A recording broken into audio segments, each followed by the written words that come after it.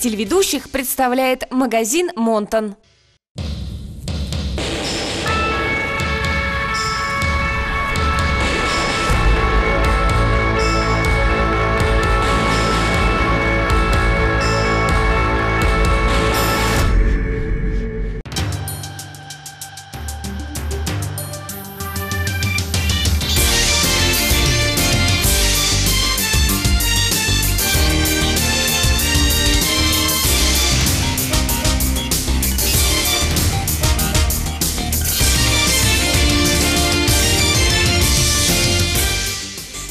Здравствуйте! В эфире Первого городского службы новостей «Город» в студии Наталья Гудкова. Наши корреспонденты подготовили информацию о главных событиях этого дня, 3 сентября. Смотрите в ближайшие минуты. Десятки затопленных квартир и бассейн вместо улиц. Как в городе пережили первый осенний ливень и чего ждать дальше? Равнодушие друг терроризма. В БФУ имени Канта вспомнили жертв Беслана. Старые злоты в обмен на рубли. Калининградцы продолжают попадаться на удочку валютных мошенников. Вместо кафе общежитие с узбеками. В Калининграде закрыли один из общепитов. Подарок на день рождения. Россияне дарят друг другу опеку над животными Калининградского зоопарка.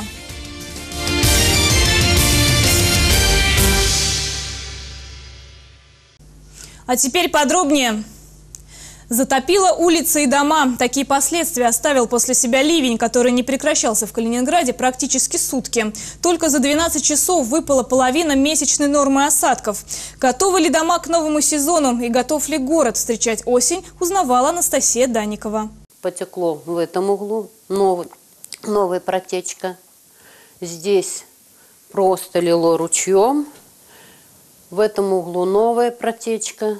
Такая картина получилась в одном из домов на улице Нарвской. Здесь обвалился потолок и протекли стены. Как рассказывает сестра хозяйки Лидия Алексеевна, в квартире не осталось ни одного сухого места. Все дело в крыше, которую подрядная организация не успела перекрыть. Ночью женщинам даже негде было спать. Вода ручьем текла прямо на кровать. Да и заснуть было сложно.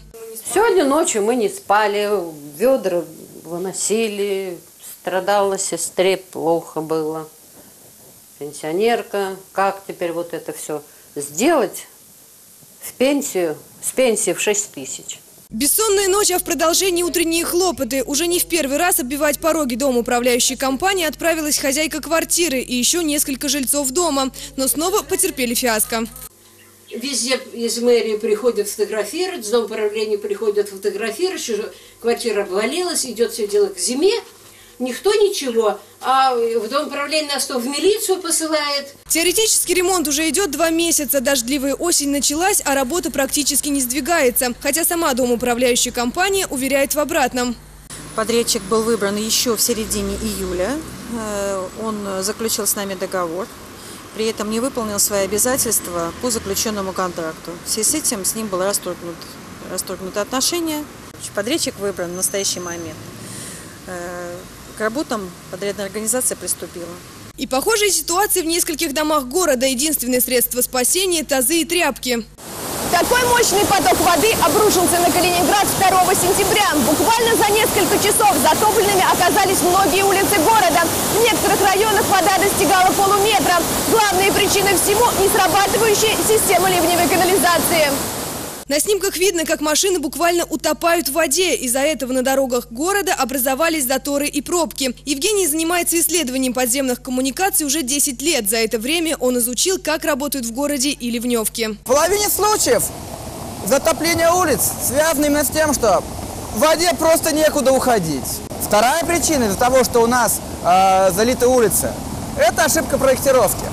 У природы, как говорится, нет плохой погоды. Этого мнения придерживаются и некоторые калининградцы. Так для этих ребят чем дольше и сильнее ливень, тем лучше.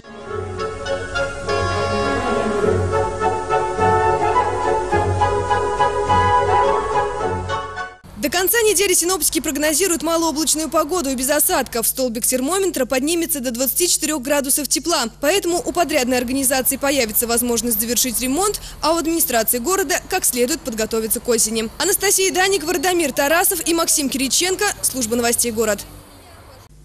Но нет худа без добра. Сегодня утром надоевший горожанам дождь сменился радугой. А в некоторых частях города калининградцы могли наблюдать редкое явление – двойную радугу. Именно ее фотографии вызвали настоящий ажиотаж. Буквально за пару часов социальные сети заполонили снимки разноцветной дуги. Делали их с разных ракурсов и в разных частях города.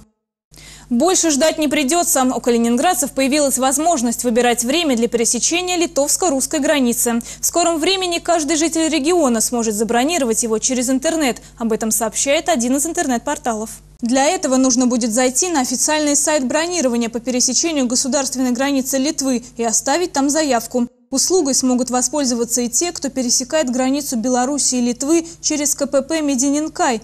По информации популярного сервиса бронирования отелей, Литва вошла в десятку самых популярных среди россиян стран. За прошлый год ее посетило 300 тысяч россиян, и по прогнозам Департамента туризма, в этом году их число только увеличится. Согласно опросам, для большинства российских туристов Литва – место отдыха. Остальные навещают там знакомых или ездят за покупками. А теперь к другим темам. Вечная память. БФУ имени Канта состоялась презентация диорама, посвященной погибшим в Беслане 9 лет назад. Это тем более актуально сегодня, в День памяти жертв терроризма. Группа энтузиастов воссоздала один из моментов 1 сентября 2004 года. Здесь и дым, и разрушенное здание спортзала, и герои-спецназовцы, ценой своих жизней спасавшие детей. Все выглядит очень реалистично. В этом организаторам помог Союз ветеранов спецназа. Именно они давали всю необходимую информацию о том трагическом дне. Смонтировали диораму всего за неделю, но идею подобного проекта вынашивали не один год. Как говорят организаторы, этот печальный эпизод современной истории как нельзя лучше подчеркивает, что терроризм поражает всех подряд без разбора, и каждый из нас под угрозой. Мы бы хотели, чтобы все люди об этом помнили. И если они увидят что-то странное, происходящее вокруг, чтобы они не оставались равнодушными, позвонили по телефонам, которые всем, в общем-то, известны, и предотвратили катастрофу. Только так мы можем бороться. Диорама пробудет в холле БФУ еще несколько дней, после чего ее планируют установить в одном из городских музеев, как постоянный экспонат. Тремя часами позже в БФУ прошел главный праздник осени – День первокурсника. Три тысячи молодых ребят сегодня официально стали студентами Федерального университета. В актовом зале собралось столько людей, что яблоку в прямом смысле упасть было негде. В этом году в БФУ подали аж 19 тысяч заявлений. Из всех абитуриентов отбор смогли пройти 3 тысячи человек из 12 стран мира. В связи с таким наплывом студентов университету даже пришлось начать строить новое общежитие. Сегодня новоиспеченные студенты познакомились с преподавателями и руководством БФУ и выслушали напутственные речи. А ребята из других стран узнали приятные новости. 9 августа этого те из вас, иностранные ребята, кто проживают здесь, в Калининградской области, смогут еще и работать и получать временное разрешение на работу. А с 1 января следующего года на миграционный учет, те из вас, ребята, кто живут прежде всего в Прибалтике, для них это актуально, будут вставать только один раз по прибытию. Не надо будет при каждом границы вставать. Порадовали студентов и новостью, что самым лучшим обеспечит хорошее рабочее место после выпуска. Специально для этого работодатели привлекают к работе со студентами уже с первого курса. Ну, прежде всего, нам нужны специалисты в инновационных технологиях. Нам нужны качественные строители, инженеры, конструкторы. А, то есть то, чего сегодня крайне не хватает региону. Я уверен, что у БФУ имени Канта все для этого есть. Сегодня государство вкладывает колоссальные средства в этот университет. А для того, чтобы простимулировать первокурсников к хорошей учебе и привлечь остаться в университете, заниматься наукой, правительство области выделяет 40 квартир для аспирантов. Сейчас мы прервемся на короткую рекламу, после которой вы увидите. Старые злоты в обмен на рубли. Калининградцы продолжают попадаться на удочку валютных мошенников. Вместо кафе общежитие с узбеками. В Калининграде закрыли один из общепитов. Подарок на день рождения. Россияне дарят друг другу опеку над животными Калининградского зоопарка. Эти и другие новости смотрите во второй части нашего выпуска.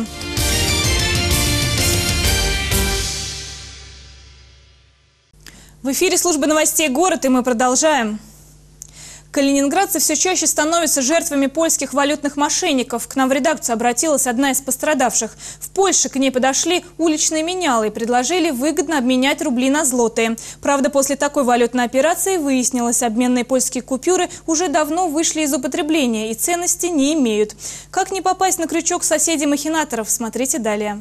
Валерия Демонова вместе с родителями едва не лишилась крупной суммы денег. Во время туристической прогулки по Гданьску к ним подошел молодой человек и предложил обменять рубли на злотые. Предложение оказалось заманчивым, курс был очень выгодным. Но при виде польских денег у калининградцев появились подозрения. Когда э, данный представитель, собственно, вынул валюту, мы увидели, что она не соответствует настоящей польской. И это, естественно, вызвало подозрение. Мой папа предложил ему подойти в официальный обменник, чтобы проверить, все ли в порядке. На что этот молодой человек э, схватил деньги, побежал, быстро прыгнул в машину и унес в неизвестном направлении. С 1995 года в обращении банкноты серии 1994 года. Их номинал в 10, 20, 50, 100 и 200 злотых. Есть и памятные, к примеру, 50 злотых 2006 года с изображением Папы Римского Иоанна Павла II. Все денежные знаки имеют защиту, водяные знаки и скрытые изображения. Но безопаснее всего проводить валютные операции в специальных учреждениях. Уверенным быть в том, что вы имеете на руках подлинную и платежную валюту, можно в том случае, если вы обратились за помощью в банк или стационарный валютный обменный пункт.